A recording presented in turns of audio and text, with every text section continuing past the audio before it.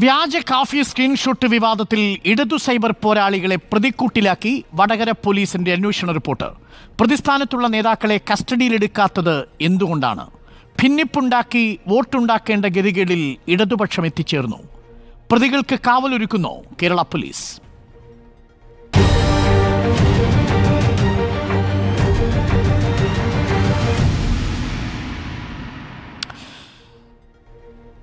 നമുക്കൊപ്പം കോൺഗ്രസ് പ്രതിനിധി Nijesh Aravind C P M പ്രതിനിധി അഡ്വക്കേറ്റ് എൽ ജി ലിജീഷ് മാധ്യമപ്രവർത്തകൻ ജോർജ് പൊടിപ്പാറ യൂത്ത് ലീഗിന്റെ നേതാവും ഈ കേസിൽ ആദ്യം ആരോപണ വിധേയനാവുകയും ആദ്യം കേസുമായി മുന്നോട്ട് പോവുകയും ചെയ്ത എം എസ് എഫിന്റെ ജില്ലാ secretary P K Muhammad Khasim എന്നിവർ. ആദ്യം പി കെ മുഹമ്മദ് ഖാസിനോട് നേരത്തെ ചോദിച്ച ചോദ്യങ്ങളുടെ ഉത്തരമാണ് പി കെ മുഹമ്മദ് ഖാസിം ഇപ്പോൾ നൽകുന്നത്. വ്യാജ കാഫി സ്ക്രീൻഷോട്ടിന് പിന്നിൽ മുഹമ്മദ് ഖാസിം കേവലം ഈ ഇപ്പോൾ പുറത്തു വന്നിരിക്കുന്ന അന്വേഷണ റിപ്പോർട്ടിൽ പറയുന്നത് പോലെ റെഡ് ബറ്റാലിയൻ റെഡ് എൻകൗണ്ടേഴ്സ് പോരാളി ഷാജി തുടങ്ങിയ സൈബർ ഗ്രൂപ്പുകൾ മാത്രമാണോ? അതല്ല ഇതിനു പിന്നിൽ വലിയൊരു രാഷ്ട്രീയ ഗൂഢാലോചനയുണ്ടോ? പ്രതിപക്ഷ നേതാവും ഇന്നിപ്പോൾ ഷാഫി പറമ്പിലുമൊക്കെ സൂചിപ്പിക്കുന്നത് പോലെ. തീർച്ചയായിട്ടും ഞങ്ങൾക്ക് തുടക്കം മുതൽ പറഞ്ഞുകൊണ്ടിരിക്കുന്നത് ഇത് വടകരയിൽ സി പി എം ഉണ്ടാക്കിയ വർഗീയ ധ്രുവീകരണത്തിനുള്ള കാടാണ് എന്നുള്ളതാണ്. അത് കൃത്യമായി തെളിയിക്കുന്ന രീതിയിലാണ് ഇന്ന് കേരള കേരള ഹൈക്കോടതിയിൽ കേരള പോലീസ് നൽകിയിട്ടുള്ള അഫിഡവിറ്റിൽ കാണുന്നത്. ഇതിന്റെ റെഡ് എൻകൗണ്ടർ റെഡ് വളണ്ടിയേഴ്സ് അതുപോലെ അമ്പാടിമുക്ക് സഹാക്കൾ അതുപോലെ പോരാളി ഷാജി ഉൾപ്പെടെയുള്ള വാട്സപ്പ് ഗ്രൂപ്പുകളിലും എഫ് ബി ഗ്രൂപ്പുകളിലാണ് ഇത് കണ്ടിട്ടുള്ളത്. ആദ്യമായി ഇത് കാണുന്നത് വടകര ഡിവൈഎഫ്ഐയുടെ ബ്ലോക്ക് കമ്മിറ്റി അംഗവും ബ്ലോക്ക് പ്രസിഡന്റ് കൂടിയായിട്ടുള്ള റിബേഷ് എന്ന് പറയുന്ന അധ്യാപ ഒരു അധ്യാപകൻ കൂടിയായിട്ടുള്ള റിബേഷാണ് എന്താക്കിയിട്ടുള്ളത് ഇത് റെഡ് എൻകൗണ്ടർ എന്നിട്ടുള്ള വാട്സപ്പ് ഗ്രൂപ്പിലേക്ക് ഷെയർ ചെയ്തിട്ടുള്ളത്. ഏകദേശം രണ്ട് മണിയോടുകൂടി ഷെയർ ചെയ്തു എന്നുള്ളതാണ് പോലീസ് റിപ്പോർട്ട് നൽകിയിട്ടുള്ളത്. ഈ സാഹചര്യത്തിൽ ഞാൻ കൃത്യമായിട്ട് ബോധ്യപ്പെടുന്നത് ഇത് സി പി എമ്മിന്റെ നേതൃത്വം അറിഞ്ഞുകൊണ്ട് സി പി എമ്മിന്റെ ലീഡർഷിപ്പ് അറിഞ്ഞുകൊണ്ടാണ് വടകരയിൽ ഇങ്ങനെ ഒരു വർഗീയ ധ്രുവീകരണം നടത്തിയിട്ടുള്ളത് എന്നാണ്. ഇതൊരിക്കലും ഒരു റിബേഷിന്റെ പേരിൽ നിൽക്കുന്നില്ല. റിബേഷ് ആണെങ്കിൽ റിബേഷിന് പ്രതിചേർക്കണം എന്നുള്ളതാണ് ഈ സാഹചര്യത്തിൽ സൂചിപ്പിക്കാനുള്ളത്. റിബേഷിനെ പോലും ഈ സമയം വരെ മൂന്ന് ആളുകളെ ചോദ്യം ചെയ്തിട്ടുണ്ടെങ്കിൽ പോലും ആരെയും പ്രതി ചേർക്കാൻ കേരള പോലീസ് തയ്യാറായിട്ടില്ല എന്ന് മാത്രമല്ല ഇതിൽ വിചിത്രമായി കിടക്കുന്നത് വടകരയിലെ ഈ കേസ് കൃത്യമായി ഒരാളുടെ പേര് പോലും എന്താക്കിയിട്ടില്ല. പോലീസ് ഹൈക്കോടതിയിൽ കൊടുത്തിട്ടുള്ള റിപ്പോർട്ടിൽ പരാമർശിച്ചിട്ടില്ല എന്നുള്ളതാണ്. അവരുടെ അഡ്രസ്സോ കാര്യങ്ങളോ ഒന്നും ഹൈക്കോടതിയിൽ എന്തായിട്ടില്ല കൊടുത്തിട്ടില്ല. നിലവിൽ റിപേഷാണ് എന്നുള്ളത് ഞങ്ങൾ മനസ്സിലാക്കുന്നത് ഞങ്ങളുടെ അന്വേഷണത്തിന്റെ ഭാഗമായിട്ടാണ്. ഈ സാഹചര്യത്തിൽ സി പി എമ്മിന്റെ ഉന്നത ആളുകൾക്ക് പങ്കുണ്ട് എന്നുള്ളത് തന്നെയാണ് ഞങ്ങൾ ഈ വിഷയത്തിൽ മനസ്സിലാക്കുന്നത്. അഡ്വക്കേറ്റ് എൽ ജി ലിജീഷ് ഇപ്പോൾ മുഹമ്മദ് ഖാസിം സൂചിപ്പിച്ചതുപോലെ പ്രതികളെ മറച്ചുപിടിച്ച് രക്ഷിക്കാനാണോ പോലീസിന്റെ ശ്രമം? ഈ കേസിൽ ഇപ്പോൾ കുറ്റാരോപിതനായിരിക്കുന്ന ഒരു അധ്യാപകനുണ്ടല്ലോ റിബേഷ്. ആ Ribesh Vadakara Arangode M L P school അധ്യാപകനാണ്. ഈ വ്യാജ സ്ക്രീൻഷോട്ട് ഉയർത്തി സമൂഹത്തിൽ ഭിന്നിപ്പുണ്ടാക്കാൻ ശ്രമിച്ച് അതിന്റെ പേരിൽ രാഷ്ട്രീയ വോട്ടുണ്ടാക്കാൻ ശ്രമിച്ചയാൾ വടകര ഡിവൈഎഫ്ഐയുടെ ഭാരവാഹിയാണെന്നാണ് ഞാൻ മനസ്സിലാക്കുന്നത്. എന്തുകൊണ്ടാണ് പോലീസ് ഇയാൾക്കെതിരെ നടപടിയെടുക്കാത്തത് ലിജീഷ്? അല്ല ഇതിനകത്ത് കേൾക്കുന്നുണ്ടോ ഡോക്ടർ അരുൺകുമാർ? ഇതിനകത്ത് നമ്മൾ മനസ്സിലാക്കേണ്ടത് ഇപ്പോൾ പോലീസ് അന്തിമ റിപ്പോർട്ട് ഫയൽ ചെയ്ത പോലെയാണ് നിങ്ങൾ ഈ ചാനൽ ചർച്ചയിൽ കാര്യങ്ങൾ പറയുന്നത്. പോലീസ് ഇതിന്റെ ഫൈൻഡിങ്സിലേക്കോ പ്രതി ആരെന്നോ എന്ന കാര്യത്തിലേക്കോ ഒന്നും എത്തിയിട്ടില്ല. പോലീസ് അന്വേഷണം നടത്തുകയാണ്. ഫോറൻസിക് പരിശോധന ഉൾപ്പെടെയുള്ള കാര്യങ്ങളൊക്കെ പൂർത്തിയാവേണ്ടതുണ്ട്. അതിനുശേഷമാണ് ഇതിനകത്ത് ആരാണ് ഇത് വ്യാജ സ്ക്രീൻഷോട്ട് നിർമ്മിച്ചതെന്ന് കണ്ടെത്താൻ കഴിയുള്ളൂ. അത് ആ നിലയ്ക്ക് പോലീസ് കൃത്യമായ അന്വേഷണം നടത്തി പോവുകയാണ്. നിങ്ങൾ മനസ്സിലാക്കേണ്ട ഒരു പ്രധാനപ്പെട്ട കാര്യം ഇതിനകത്ത് ഈ വിഷയം ഉണ്ടായ ആ സമയത്ത് തന്നെ വടകരയിലെ എൽ ഡി എഫിന്റെ തെരഞ്ഞെടുപ്പ് കമ്മിറ്റിയാണ് പരാതി കൊടുത്തത്. ഞങ്ങൾക്ക് ഏതെങ്കിലും തെരഞ്ഞെടുപ്പിനകത്ത് പരാതി നിങ്ങൾ ആളുകളെ മുഹമ്മദ് ഈ വിഷയത്തിൽ ഒരു ഗൂഢാലോചനയുണ്ടെന്നും താൻ നിരപരാധിയാണെന്നും ചൂണ്ടിക്കാട്ടി പോലീസിനെ സമീപിക്കുന്നത് പോലീസിൽ നിന്ന് കാര്യമായ നീക്കമുണ്ടാകാത്തപ്പോഴാണ് കോടതിയെ സമീപിക്കുന്നത്. ഒടുവിൽ പോലീസ് ആദ്യഘട്ടത്തിൽ ഈ അന്വേഷണത്തിൽ എങ്ങനെയാ പ്ര- പ്രവർത്തിച്ചെന്ന് താങ്കൾക്കറിയാമല്ലോ? കോടതി കേസ് ഡയറി ഹാജരാക്കാൻ ആവശ്യപ്പെട്ടപ്പോഴല്ലേ ഇപ്പോൾ ഈ അന്വേഷണ റിപ്പോർട്ട് പുറത്തു വന്നത് എൽ ജി ലിജീഷ്? അങ്ങനെയല്ല. ഈ വിഷയം വന്ന ഉടനെ തന്നെ പരാതി കൊടുത്തത് വടകര എൽ ഡി എഫ് നേതൃത്വമാണ്. തെരഞ്ഞെടുപ്പ് കമ്മിറ്റി സെക്രട്ടറിയാണ്. ഇത് വ്യാപകമായി ഇത്തരത്തിൽ വർഗീയ ധ്രുവീകരണം സൃഷ്ടിക്കുന്നു എന്ന് പറഞ്ഞ് പരാതി കൊടുക്കുകയാണ് ഉണ്ടായത്. അതിന്റെ അടിസ്ഥാനത്തിലാണ് പോലീസ് അന്വേഷണം ഏറ്റെടുത്തിട്ടുള്ളത്. അതിന്റെ അടിസ്ഥാനത്തിലാണ് പോലീസ് കാര്യങ്ങൾ നീക്കിയിട്ടുള്ളത്. നിരവധി പേരെ അവർ ചോദ്യം ചെയ്തിട്ടുണ്ട്. ആ പോലീസ് അന്വേഷണത്തിലേക്കൊന്നും നമ്മൾ കടക്കേണ്ടതില്ല. അവർ സ്വതന്ത്രമായി അന്വേഷിക്കുകയാണ്. ആ അന്വേഷണത്തിന്റെ ഭാഗമായി അതിന് ശേഷമാണ് ഇപ്പോൾ ഈ പറയുന്ന തിരുവള്ളൂരിലെ മുസ്ലിം ലീഗിന്റെ യൂത്ത് വിങ്ങിന്റെ സെക്രട്ടറി മറ്റോ മറ്റോ കൊടുത്തൊരു പരാതി ഇതിന്റെ കണക്ട് ചെയ്ത് അന്വേഷണം നടക്കുന്നുണ്ട്. അല്ലാതെ ഇവരല്ല ആദ്യം പരാതി കൊടുക്കുന്നത്. തെരഞ്ഞെടുപ്പുമായി ബന്ധപ്പെട്ട് നിങ്ങൾ പരാതി കൊടുത്തത് എന്തിനാണ് നിങ്ങൾ പരാതി കൊടുത്തത്. Youth league. നെടുമ്പ്രമണ്ണ എന്ന പേരിൽ. പ്രചരിച്ച ഈ സ്ക്രീൻഷോട്ട് മുഹമ്മദ് ഖാസിമിന്റെ ആണ് എന്ന നിഗമനത്തിലാണ് നിങ്ങൾ കേസ് കൊടുക്കുന്നത് പക്ഷേ അത് മുഹമ്മദ് ഖാസിമിന് ഇതുമായി ഒരു ബന്ധവുമില്ല എന്നത് പിന്നീട് തെളിയുന്നു അപ്പോൾ അന്വേഷണം മന്ദഗതിയിലാവുന്നു ആരാണ് ഈ സ്ക്രീൻഷോട്ടിന്റെ പകർപ്പുകൾ എടുത്തത്? എം എൽ എ ലതിക അടക്കമുള്ളവർ സ്ക്രീൻഷോട്ടുകൾ പ്രചരിപ്പിച്ചു. അന്വേഷണത്തിന്റെ ഭാഗമായി ഇനി പോലീസ് ഇപ്പോൾ ഏറ്റവും ഒടുവിൽ സ്വതന്ത്രമായ കണ്ടെത്തിയിരിക്കുന്ന കണക്ക് പ്രകാരം അവിടെയാണ് ഞാൻ പറഞ്ഞത് ഡിവൈഎഫ്ഐയുടെ വളകര ബ്ലോക്കിലെ സെക്രട്ടറി റിബീഷ് ഒരു അധ്യാപകൻ കൂടിയാണ്. ആ റിബീഷിന്റെ കയ്യിലേക്ക് റെഡ് എൻകൗണ്ടേഴ്സ് എന്ന് പറയുന്ന സംഘടനയിൽ റിബീഷ് രാമകൃഷ്ണന്റെ കയ്യിൽ ഇത് എവിടെ നിന്ന് എത്തി എന്നൊരു ചോദ്യമുണ്ടല്ലോ. ഒറ്റ ചോദ്യമേ ഉള്ളൂ എനിക്ക് എൽ ജി ലിജീഷ്. ഈ റിബേഷ് രാമകൃഷ്ണൻ എന്ന് പറയുന്നയാൾ റെഡ് എൻകൗണ്ടേഴ്സിന്റെ ഗ്രൂപ്പിൽ ഈ വ്യാജ സ്ക്രീൻഷോട്ട് പോസ്റ്റ് ചെയ്യുമ്പോൾ റിബേഷ് രാമകൃഷ്ണൻ ഇത് എവിടെന്നെങ്കിലും കിട്ടിയിട്ടുണ്ടാവുമല്ലോ? ആ സോഴ്സിൽ എന്തുകൊണ്ടാണ് റിബേഷ് രാമകൃഷ്ണൻ പറയാത്തത്? അദ്ദേഹം ഒരു അധ്യാപകനല്ലേ? സമൂഹത്തോട് മിനിമം കമ്മിറ്റഡ് അല്ലേ?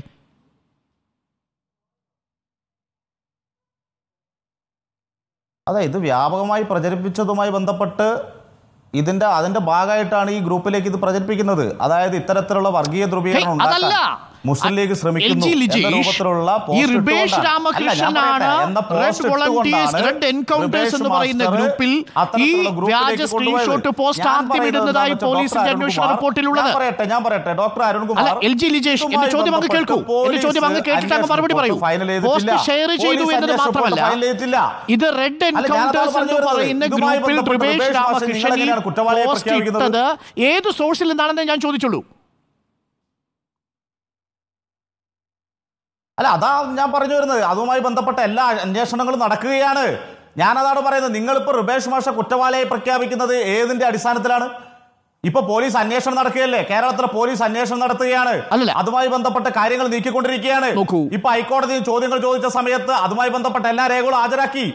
ഇപ്പൊ ഫോറൻസിക് പരിശോധന ഉൾപ്പെടെ നടക്കുന്നു. കുറ്റവാളികളെ നൂറ് ദിവസമാണ് ദിവസമാകുന്നു ലിജീഷ് ഏപ്രിൽ. ഇരുപത്തിയഞ്ചാം തീയതി നടന്ന ഒരു സംഭവത്തെ കുറിച്ചാണ് നമ്മൾ ഓഗസ്റ്റ് മാസം പതിനാലാം തീയതി ഇരുന്ന് ഫോറൻസിക് അന്വേഷണം നടക്കുന്നുവെന്ന് ലാഘവത്തോടുകൂടി പറയുന്നത് അത് നടക്കട്ടെ പക്ഷേ എൽ ജി ലിജീഷിന്റെ ചോദ്യം ഇതാണ് റിബേഷ് രാമകൃഷ്ണനെ കുറ്റവാളിയാക്കാനോ ഏതെങ്കിലും. തരത്തിലൊരു സമാന്തര കോടതിയുടെ വിധി. പ്രഖ്യാപിക്കാനോ ഞാനാണല്ല. എന്റെ ചോദ്യം വളരെ ലളിതമാണ് അഡ്വക്കേറ്റ് എൽ ജി ലിജീഷ് ഈ അന്വേഷണ റിപ്പോർട്ട് താങ്കൾക്കും കിട്ടിയിട്ടുണ്ടെങ്കിൽ ആ കുറ്റവാളികളെ അന്വേഷണ റിപ്പോർട്ടിൽ ഈ റെഡ് എൻകൗണ്ടേഴ്സ് എന്ന് പറയുന്ന ഗ്രൂപ്പിലേക്ക് ശ്രീ എൽ ജി ലിജീഷ്. മത്സരിക്കുകയും ചോദ്യം ഒന്ന് കേൾക്കൂ, എൽ ജി ലിജീഷ്. അങ്ങനെ ചോദ്യം ഒന്ന് കേൾക്കൂ, L G Lijeesh. Advocate L G Lijeesh, എന്റെ ചോദ്യം അങ്ങൊന്ന് കേൾക്കൂ. സംബന്ധിച്ചിടത്തോളം ഇല്ല.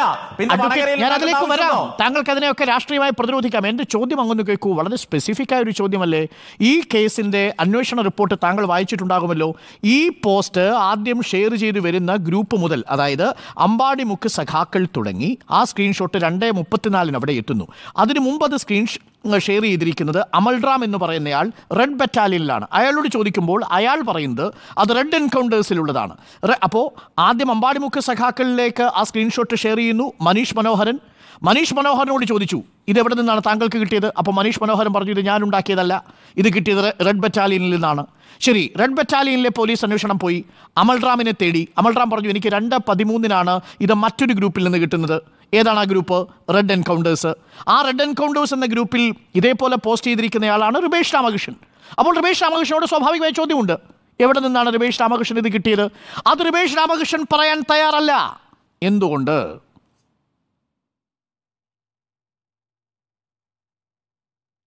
ഇതിനകത്ത് നിങ്ങൾ മനസ്സിലാക്കേണ്ട എന്താണ് ഡോക്ടർ അരുൺകുമാർ? ഇത് വളരെ തന്ത്രപരമായിട്ടാണ് വർഗീയ സംവിധാനങ്ങൾ ഇത്തരത്തിലുള്ള ഫേക്ക് സംവിധാനങ്ങളെല്ലാം ഉണ്ടാക്കുന്നത്. ഇത് വ്യാപകമായി എന്നിട്ട് പ്രചരിപ്പിക്കുകയാണ്. ഇതുമായി ബന്ധപ്പെട്ട് ഇത്തരത്തിലുള്ള പ്രചരണം വന്ന സമയത്താണ് ഇതുമായി ബന്ധപ്പെട്ട് റിബേഷ് മാഷ് ഇതിനകത്ത് പോസ്റ്റ് ചെയ്യുന്നത്. ആ പോസ്റ്റിനടിയിൽ വളരെ കൃത്യമായി അത് പറയുകയും ചെയ്യുന്നുണ്ട്.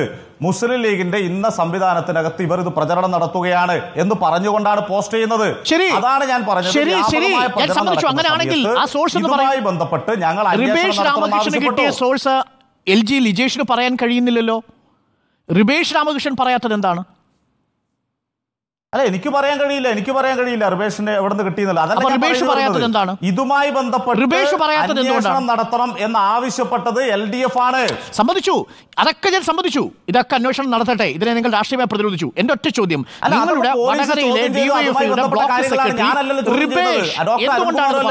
അതുമായി ബന്ധപ്പെട്ട പോലീസ് അന്വേഷണം നടക്കുകയാണ്. പോലീസിന്റെ അന്വേഷണത്തിൽ റിബേഷ് മറുപടി പറഞ്ഞില്ല എന്തൊക്കെയാണോ പോലീസ് എന്തൊക്കെയാണോ ചോദിച്ചത്?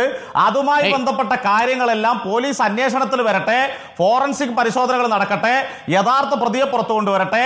ഞങ്ങൾ കൊടുത്ത പരാതിയിലാണ് അന്വേഷണം ആരംഭിച്ചിട്ടുള്ളത്. ഞാൻ നേരത്തെ സൂചിപ്പിച്ചു കഴിഞ്ഞു തെരഞ്ഞെടുപ്പിനകത്ത് ഇതുപോലെ വർഗീയ ധ്രുവീകരണം ഉണ്ടാക്കി വോട്ട് പിടിക്കേണ്ട ഒരു തരത്തിലുള്ള ഗതികേടും ഞങ്ങളെ സംബന്ധിച്ചിടത്തോളം ഇല്ല. ഇതെല്ലാം പയറ്റാറുള്ളത് മുസ്ലിം ലീഗും കോൺഗ്രസുമാണ്. നിരവധിയായ നമ്മളിത് കണ്ടതാണ്.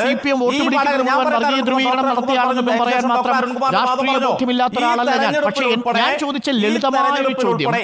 ഈ പോസ്റ്റിന്റെ പ്രഭവ കേന്ദ്രം എന്ന് നമ്മൾ പറയുന്ന റെഡ് എൻകൗണ്ടേഴ്സ് എന്ന് പറയുന്ന ഗ്രൂപ്പിൽ റിബേഷ് രാമകൃഷ്ണൻ എന്ന വടകരയിലെ ഡിവൈഎഫ്ഐയുടെ ബ്ലോക്ക് സെക്രട്ടറി ഈ പോസ്റ്റ് ഇടുമ്പോൾ അയാൾക്ക് അത് എവിടെ നിന്ന് കിട്ടി? റിബേഷ് രാമകൃഷ്ണൻ എന്ന അധ്യാപകൻ ആ പോസ്റ്റ് എവിടെ നിന്ന് കിട്ടി എന്ന് പറയാനുള്ള ബാധ്യത റിബേഷ് രാമകൃഷ്ണൻ ഉണ്ടോ ഇല്ലയോ? അതങ്ങ് പറയൂ. അല്ല അത് സംബന്ധിച്ച് അന്വേഷണ ഉദ്യോഗസ്ഥനോട് അതുമായി ബന്ധപ്പെട്ട എല്ലാ കാര്യങ്ങളും തുറന്നു പറയണം. യാതൊരു തരത്തിലുള്ള അതുമായി ബന്ധപ്പെട്ട ബാറിങ്ങും ഞങ്ങളെ ഭാഗത്തുനിന്നില്ല. അത് സംബന്ധിച്ച് അന്വേഷണം നടക്കട്ടെ.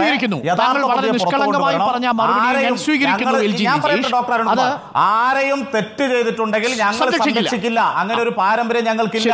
അദ്ദേഹത്തെ വടകരയിലെ അന്വേഷണം DYFI യുടെ പൂർത്തിയാവുന്നതിന് മുമ്പേ ബ്ലോക്ക് സെക്രട്ടറി സ്ഥാനത്ത് നിന്ന് നീക്കം ചെയ്തോ? ആളാണെന്ന് ഇതിന്റെ വടകരയിലെ- വടകരയിലെ ഡിവൈഎഫ്ഐയുടെ ചർച്ചകൾ കൊണ്ട് വടകരയിലെ ഡിവൈഎഫ്ഐയുടെ പോലീസാണ് റിപ്പോർട്ട് കൊടുത്തിട്ടുള്ളത്. കേരളത്തിലെ പോലീസാണ് റിപ്പോർട്ട് കൊടുത്തിട്ടുള്ളത് ശരി. സമ്മതിച്ചു, സാർ. പോലീസ് അന്വേഷിക്കട്ടെ. വിവരങ്ങൾ പുറത്തു വരട്ടെ. നടക്കട്ടെ.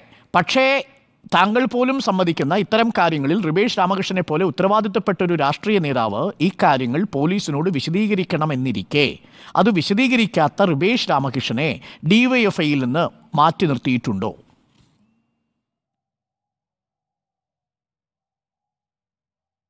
ഇല്ലില്ല ഡിവൈഎഫ്ഐയിൽ നിന്ന് മാറ്റി നിർത്തേണ്ട സാഹചര്യം ഒന്നും ഇപ്പൊ ഇല്ല.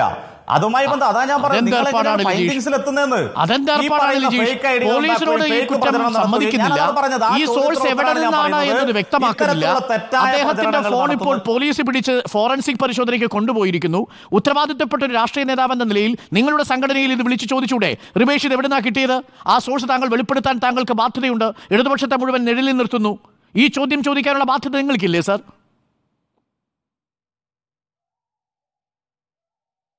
അല്ല അതാണ് ഞാൻ പറയുന്നത് ഡോക്ടർ അരുൺകുമാർ. ഇതുമായി ബന്ധപ്പെട്ട് എല്ലാ അന്വേഷണം നടത്തണമെന്ന് പരാതി കൊടുത്തത് ഞങ്ങളാണ് സാർ. അത് നിങ്ങൾ എന്താ കാണാത്തത്? ആ പരാതിയുടെ ഫലമാണ് നൂറ് ദിവസമായിട്ടും ഫോറൻസിക് പരിശോധനയ്ക്ക് വേണ്ടി നമ്മൾ ഏറ്റവും വലിയ വേഴാമ്പലായി മാറുന്ന അത്തരത്തിൽ കാഴ്ച തെറ്റായ കാണുന്നത് സാർ. ആദ്യം എന്തൊരു. അറിയാമോ ലിജീഷ്? പാരമ്പര്യമില്ല. അത്തരത്തിൽ നോക്കൂ ലിജീഷ്. ഈ തരത്തിലുള്ള മുഹമ്മദ് ഖാസിമിന്റെ പേരിൽ ഈ പരാതി വരുമ്പോൾ എന്തൊരു സ്പീഡായിരുന്നു എന്നറിയാമോ ആ സ്പീഡ് ഇപ്പോൾ കാണാനില്ല. ഇത് ഇടതുപക്ഷത്തെ സൈബർ കേന്ദ്രങ്ങളിലേക്ക് അന്വേഷണം പോകുമ്പോൾ അതിന്റെ വേഗത കുറയുന്നു. നൂറ് ദിവസമായ ഒരു അന്വേഷണം. ഒരു മൊബൈൽ ഫോണിൽ ഇത് ഏത് സ്ക്രീൻഷോട്ട് ആരുടെ എവിടെ നിന്ന് കണ്ടെത്തിയെന്ന് ഫോറൻസിക് പരിശോധന നടത്താൻ നൂറ് ദിവസം വേണോ സർ? ഡോക്ടർ അരുൺകുമാർ ഇതിന് സമയപരിധിയൊന്നും നമ്മൾ നിശ്ചയിക്കേണ്ടാന്ന് ഇത് കൃത്യമായ പ്രതിയിലേക്ക് എത്തുക എന്നുള്ളതാണ് ഇതിന്റെ വിഷയം. ഞാൻ നിജേഷ് അരവിന്ദിലേക്ക് പോകുന്നു. Nijesh Aravind advocate L G ലിജീഷിന്റെ പ്രതിരോധം താങ്കൾ കണ്ടില്ലേ? ഈ കേസ് ആദ്യം കൊടുത്തത് ഇടതുപക്ഷമാണ്. വർഗീയ പ്രചരണത്തിലൂടെ വോട്ട് പിടിക്കാനുള്ള ഏതൊരു ശ്രമത്തെയും എൽ ഡി എഫ് നേരിടും. അതുകൊണ്ട് തെളിവാണ് ഈ കേസ് ആദ്യം നിയമത്തിന് മുന്നിൽ എത്തിക്കാൻ എൽ ഡി എഫിന്റെ പ്രവർത്തകർ കാണിച്ച ജാഗ്രത. ആര് കുറ്റം ചെയ്താലും സംരക്ഷിക്കില്ല. അത് റിവേഷ് ചെയ്താലും സംരക്ഷിക്കില്ല. പോലീസ് അന്വേഷിക്കട്ടെ. ആ അന്വേഷണത്തിൽ ഇടപെടില്ല എന്നാണ് എൽ ഡി എഫിന്റെ പക്ഷം. അത്ര നിർദ്ദയം നിർദോഷം നമുക്ക് കണക്കാക്കാൻ കഴിയുന്ന ഒന്നാണോ എൽ ഡി എഫിന്റെ ഈ പ്രതിരോധത്തെ? നിജീഷ് അരവിന്ദ്. ഒന്നാമത്തെ കാര്യത്തിൽ എനിക്ക് സന്തോഷമുണ്ട്. റിബേഷിൽ തുടങ്ങി അമ്പാടിമുക്ക് സഖാക്കളിലൂടെ പോരാളി ഷാജിയിലൂടെ കെ കെ ലതിക കോഴിക്കോട് ജില്ലാ സെക്രട്ടറി മോഹനമാഷയുടെ ഭാര്യ കെ കെ ലതിക വരെ പുറത്തേക്ക് വിട്ട ഇത് വ്യാജ സ്ക്രീൻഷോട്ടാണ് എന്ന് ഒരു സി പി എം പ്രതിനിധി ചർച്ചയിൽ സമ്മതിച്ചതിൽ വലിയ സന്തോഷം ആദ്യമേ പങ്കുവെക്കുന്നു. രണ്ട് ഈ റിബേഷ് എന്ന് പറയുന്ന ചങ്ങാതി അധ്യാപകനാണോ എന്ന് സംശയിച്ചതുപോലെ തന്നെ സി പി എമ്മിന്റെ പ്രതിനിധി ഒരു അഡ്വക്കേറ്റ് ആണോ എന്ന സംശയം കൂടി ഞാൻ പ്രകടിപ്പിക്കുകയാണ്. എങ്ങനെയാണ് മിസ്റ്റർ ലിജീഷ് നിങ്ങൾ കൊടുത്ത കേസ് ഹൈക്കോടതിയിലെത്തുക? നിങ്ങൾ ഈ സ്ക്രീൻഷോട്ട് സമൂഹത്തിൽ വർഗീയത ഉണ്ടാക്കുന്നു എന്ന് പറഞ്ഞ് കാസിമിനെതിരെയും നെടുമ്പ്രമണ്ണ യൂത്ത് ലീഗിനെതിരെയും നിങ്ങൾ കൊടുത്ത പരാതി എങ്ങനെയാണ് ഹൈക്കോടതിയിൽ എത്തിയത് നിങ്ങൾ വക്കീലാണല്ലോ. ഒന്ന് പറഞ്ഞു തന്നാൽ വലിയ ഉപകാരമായിരുന്നു. നിങ്ങൾക്കറിയോ ഇത് ഇരുപത്തിയാറാം തീയതി ഉച്ചയ്ക്കാണ് ഈ റിബേഷ് പുറത്തുവിട്ടത്. അതിനുശേഷമാണ് അടുത്ത സ്ഥലത്തേക്കും അവസാനം അമ്പാടി ബുക്കിലേക്കും പോരാളി ഷാജിയിലേക്കും എത്തിയത്. ഒക്കെ ഇരുപത്തി ആറാം തീയതി വൈകുന്നേരം രണ്ട് പതിമൂന്ന് മുതൽ ഉച്ച വൈകുന്നേരം ആകുമ്പോഴേക്കുള്ള ഏർപ്പാടാണ്. അതിനുശേഷം ഈ ചർച്ചയിൽ പങ്കെടുക്കുന്ന കാസിം നേരിട്ട് തന്റെ ഫോണുമായി വടകര എസ് പി ഓഫീസിൽ പോവുകയാണ്. എന്നെ പറ്റി ഇങ്ങനെ ഒരു ആരോപണമുണ്ട്. അതുകൊണ്ട് എന്റെ ഫോൺ ഇതാണ്. ഇതിൽ നിന്ന് വന്നതല്ല. നിങ്ങൾ അന്വേഷിക്കണം എന്ന് പറഞ്ഞ് കാസിമാണ് കോടതിയിൽ പോകുന്നത്. പക്ഷെ അന്വേഷിച്ചില്ല പോലീസ്. അന്വേഷിച്ചില്ല. ഇലക്ഷന് ശേഷം ആദ്യത്തെ രാഷ്ട്രീയ സമരം youth league Vadakara S P ഓഫീസിൽ നടത്തിയ മാർച്ച് ആയിരുന്നു ഈ വിഷയത്തിൽ കാസിം കൊടുത്ത പരാതി അന്വേഷിച്ചില്ല എന്ന് പറഞ്ഞുകൊണ്ടായിരുന്നു. അവിടെ വടകരയിൽ യൂത്ത് ലീഗ് പിന്നെയും സമരം നടത്തി. അതേ സമയത്ത് തന്നെ ലിജീഷിന്റെ പാർട്ടിക്കാർ ഏറ്റവും വലിയ വർഗീയ വിഷമാണ് ഷാഫി പറമ്പിൽ എന്ന് പറഞ്ഞുകൊണ്ട് കുറെ ആളുകൾ കൂട്ടി എ റഹീമിന്റെ വലിയ സമരം ഉണ്ടായിരുന്നു. ഞാൻ അതിന്റെ ഭാഗത്തേക്ക് പോകുന്നില്ല. പിന്നെ യൂത്ത് കോൺഗ്രസ് കുറ്റ്യാടി സ്റ്റേഷനിലും വടകര സ്റ്റേഷനിലും പരാതി കൊടുത്തു. യൂത്ത് കോൺഗ്രസിന്റെ സംസ്ഥാന ജനറൽ സെക്രട്ടറി ദുൽഖിഫിൽ പരാതി കൊടുത്തു. ആ കേസും എടുത്തില്ല. ഈ കേസൊന്നും എടുക്കാതായപ്പോഴാണ് കാസിം നേരെ ഹൈക്കോടതിയിൽ കൊടുത്തത്. ആ ഹൈക്കോടതിയിൽ കൊടുത്ത കേസിന്റെ അടിസ്ഥാനത്തിലാണ് പോലീസ് അന്വേഷണം നടത്താൻ ഹൈക്കോടതി ഉത്തരവിട്ടതിന്റെ അടിസ്ഥാനത്തിലാണ് ഗതികെട്ട കേരള പോലീസ് ഗതികെട്ട കേരള പോലീസ് ഹൈക്കോടതിയിൽ റിപ്പോർട്ട് കൊടുക്കേണ്ടി വന്നത് എന്നിട്ടും മെല്ലെപ്പോക്കായിരുന്നു. പലവട്ടം മെല്ലെപ്പോക്ക് അവസാനമാണ് ഇന്നലെ ഈ റിപ്പോർട്ട് പോയത്. ഈ റിപ്പോർട്ടിലാണ് മനസ്സിലാകുന്നത് റിബേഷ് എന്ന് പറയുന്ന വടകര ബ്ലോക്ക് സെക്രട്ടറി ഡിവൈഎഫ്ഐയുടെ നേതാവ് അധ്യാപകൻ വടകരയിലെ ഞാനും ശ്രീ അരുൺകുമാറും ഒക്കെ പങ്കെടുത്ത ചാനൽ ചർച്ചയിൽ അവിടെ വെച്ച് വലിയ ബഹളം ഉണ്ടാക്കിയ ആ താടിക്കാരനായ സഖാവിന്റെ കയ്യിലാണ് ഇത് ആദ്യമായി കിട്ടിയത് എന്ന് ഇന്നാണ് പുറത്തു വരുന്നത്. അത് പുറത്തു വന്നത് പോലീസ് കോടതിയിൽ കൊടുത്ത റിപ്പോർട്ടിന്റെ അടിസ്ഥാനത്തിലാണ്. അവിടെ ഡിവൈഎഫ്ഐക്കോ സി പി എമ്മിനോ വടകരയിലെ സി പി എമ്മിനോ ഒരു പങ്കുമില്ല. കാസിം കൊടുത്ത യൂത്ത് ലീഗ് കൊടുത്ത പരാതി ഹൈക്കോടതിയിൽ കൊടുത്ത പരാതിയുടെ അടിസ്ഥാനത്തിലാണ് ഇത്. ഞാൻ പറയുന്നത് ലിജീഷിന് മനസ്സിലാക്കാൻ വേണ്ടിയിട്ടല്ല. പൊതുജനങ്ങൾക്ക് എന്തെങ്കിലും. വളരെ ഈ സ്പെസിഫിക് ആയ ചോദ്യമാണ്. എനിക്ക് പാരമ്പര്യത്തിലെ ലിജീഷിന്റെ മറുപടി ഒന്ന് കേൾക്കണം ഈ വിഷയത്തിൽ. അഡ്വക്കേറ്റ് എൽ ജി ലിജീഷ് നിങ്ങൾ കൊടുത്ത കേസാണോ ഇപ്പോൾ ഹൈക്കോടതിയിലുള്ളത്? അല്ല രണ്ട് കേസുകൾ ഇതുമായി ബന്ധപ്പെട്ട് വടകര പോലീസ് സ്റ്റേഷനിൽ രജിസ്റ്റർ ചെയ്തിട്ടുണ്ട്. അത് വടകര ക്രൈം നാനൂറ്റി പത്ത് ഇരുപത്തിനാലും നാനൂറ്റി പതിനൊന്ന് ഇരുപത്തിനാലും. ആ രണ്ട് കേസും ഈ പറയുന്ന ഒന്ന് നമ്മൾ കൊടുത്ത പരാതിയും അതിനുശേഷം ഈ പറയുന്ന മുസ്ലിം ലീഗിന് നേതാവ് കൊടുത്ത പരാതിയുമായി ബന്ധപ്പെട്ടാണ്. ഹൈക്കോടതി നേരിട്ട് കേസെടുത്ത് അന്വേഷിക്കുമെന്നല്ല നിജേഷ ഇത് ചെയ്യുക. വെറുതെ ഇങ്ങനെ വിവരക്കേട് പറയല്ലേ? ഇതുമായി ബന്ധപ്പെട്ട് പോലീസ് അന്വേഷണം നടത്തി. ഇതിന്റെ പോയി.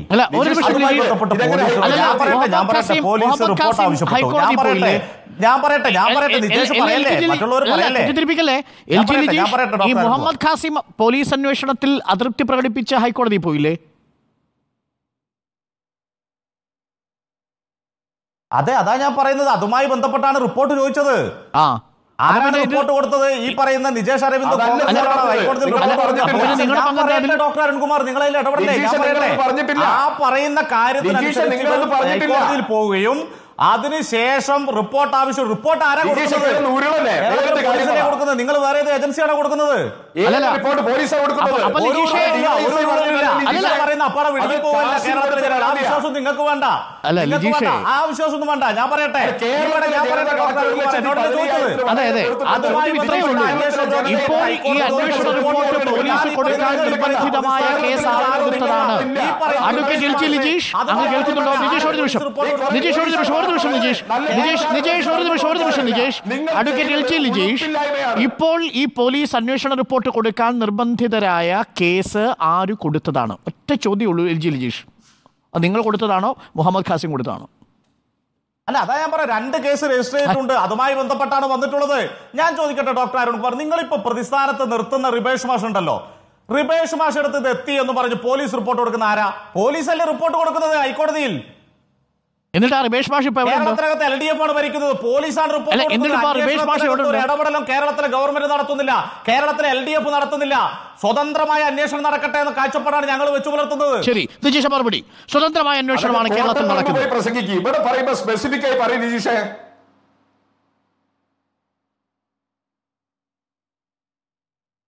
നിജീഷ്. കോട്ടപ്പറമ്പ് പ്രസംഗിക്കേണ്ട കാര്യം കോട്ടപ്പറമ്പ് തന്നെ പ്രസംഗിക്കുന്നു പ്രസംഗിക്കും നിജേഷേ നിജേഷ് സ്വതന്ത്രമായ അന്വേഷണമാണ് നടക്കുന്നത്. പോലീസ് റിപ്പോർട്ട് കൊടുക്കുമെന്നാണ് പറയുന്നത്.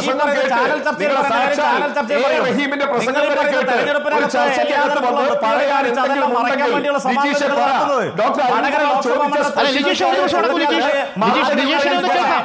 നിജേഷിനെ കേട്ടു. ഇനി നമുക്ക് നിജേഷിനെ കേൾക്കാം.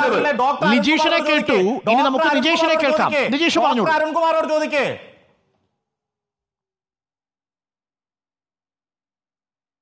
ഡോക്ടർ അരുൺകുമാർ എന്റെ ചോദ്യം വളരെ കൃത്യമാണ്. ഈ കാര്യം ഈ കാര്യത്തിൽ എങ്ങനെ ഹൈക്കോടതിയിൽ കേസ് എത്തി ആരാണ് കേസ് കൊടുത്തത്? ഡിവൈഎഫ്ഐയോ സി പി എമ്മോ മോഹന മാഷോ കൊടുത്ത കേസാണോ ഹൈക്കോടതിയിൽ എത്തിയത് അതോ മുഹമ്മദ് കാസിം കൊടുത്ത കേസാണോ ഹൈക്കോടതിയിൽ എത്തിയത് ഗതി കെട്ടിട്ടാണോ പോലീസ് റിപ്പോർട്ട് കൊടുത്തത്? ആ റിപ്പോർട്ട് കൊടുത്തതിന്റെ അടിസ്ഥാനത്തിലല്ലേ കേസ്? ഞങ്ങൾക്ക് അങ്ങനെയാ നിജേഷ് അറിയുന്നു മനസ്സിലാക്കിയത്? മുഹമ്മദ് കാസിം കൊടുത്ത കേസ് മിസ്റ്റർ ഇത് എത്ര നേരമായി നിങ്ങളോട് പറയുന്നത്? നിങ്ങൾ കേൾക്കുന്നില്ലേ? ചെവി കേൾക്കുന്നില്ലേ? ഹൈക്കോടതിയാണോ മിസ്റ്റർ ഇത് കേസ് നേരിട്ടെടുക്കുന്നത്? നിങ്ങൾ എന്താണ് അങ്ങനെയാണോ മനസ്സിലാക്കി വെച്ചത്? വടകര കേസുമായി ബന്ധപ്പെട്ട അന്വേഷണ പുരോഗതിയാണ് നിങ്ങൾ ചോദിക്കുന്നത്. അതിന് മേൽനോട്ടം. വഹിക്കുകയാണ് പോലീസ്. നിങ്ങൾ ഈ പറഞ്ഞ റിപ്പോർട്ടർ ചാനൽ പറഞ്ഞല്ലോ സ്ഥലം മാറ്റി അതിന് മേൽനോട്ടം വഹിക്കുന്ന ആളുകളാണ്. ശരി ശരി. നിജേഷ് എന്റെ സംശയം എൽ- ലിജീഷ് ഇത് അല്ല, ശരിക്കും തമാശയ്ക്ക് തമാശക്ക് പറയുന്നതാണോ സീരിയസ് ആയി പറയുന്നതാണോ? ഈ? അന്വേഷണ റിപ്പോർട്ട് ഇപ്പോൾ പോലീസ് എവിടെയാ കൊടുത്തിരിക്കുന്നത്?